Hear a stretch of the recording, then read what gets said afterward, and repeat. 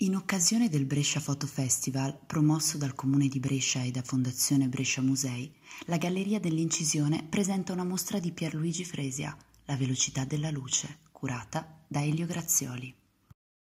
Pierluigi Fresia vive e lavora nel torinese. Sempre riconducibile al concettuale, la sua ricerca ha impiegato diversi media, la pittura e successivamente il video e la fotografia, includendo spesso l'uso della parola.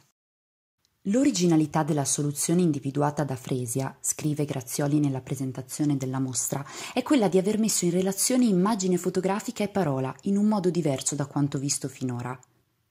Fresia lo ha saputo portare a un punto particolare in cui le parole, le brevi frasi, sembrano nascere insieme all'immagine, come un pensiero che scaturisce davanti a ciò che l'artista vedeva in quel momento e che ora vediamo noi. Lo scatto fotografico diventa così uno scatto di immagine e pensiero al contempo. Ancora una volta ci si permetterà il gioco sull'etimologia della parola fotografia, che è proprio scrittura di luce, qui dunque in un senso che unisce la scrittura verbale a quella della luce.